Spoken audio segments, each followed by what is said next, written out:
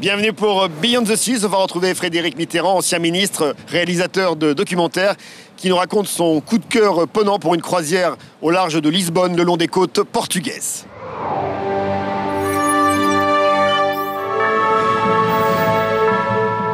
L'arrivée à Lisbonne est un moment miraculeux.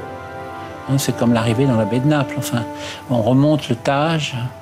Alors ce gros et beau bateau comme ça qui est sur un fleuve, qui est encore la mer en même temps.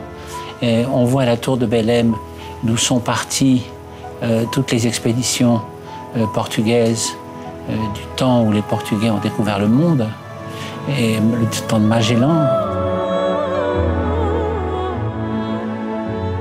Et là, on passe devant cette tour de Belém. C'est comme si, au fond, les grands explorateurs, les grands capitaines de la Renaissance nous passaient le relais et comme si on, revenait pour les retrouver. C'est un moment d'émotion absolument formidable.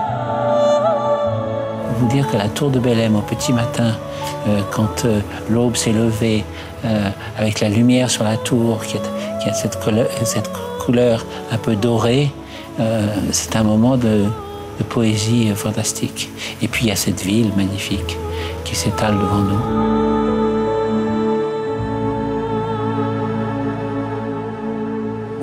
On se retrouve très vite pour Beyond the Seas.